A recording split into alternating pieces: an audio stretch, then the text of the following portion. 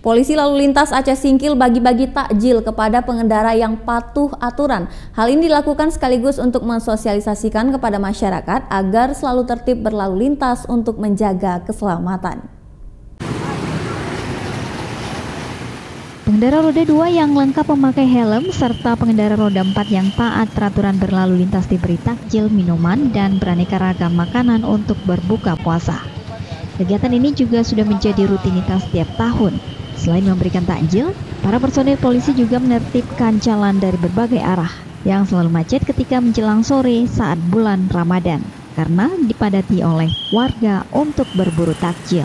Kegiatan rutin kita uh, yang kita laksanakan setiap bulan puasa, di samping kita melaksanakan uh, pengaturan uh, yang setiap hari yang kita lakukan, kemudian kita ada bagi-bagi takjil uh, bagi si pengendara uh, yang yang melengkapi seperti dia bawa helm, Nah, jadi kalau memang dia mau helm, jadi kita bagi saja ah, itu akan reward dari kita ah, kepada si pengguna jalan ah, karena dia ah, ah, lengkap. Jadi kita kasih reward yaitu sebagai takjil yang kita bagi-bagikan.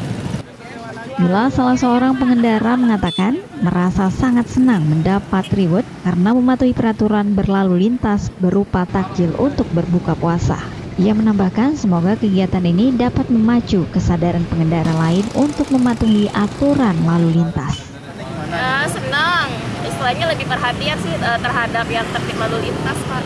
Uh, mudah-mudahan yang lain bisa ikut dengan kami mematuhi lalu, lalu lintas. Pak. Dari Kabupaten Aceh Singkil, Ropi Rahendra memberitakan.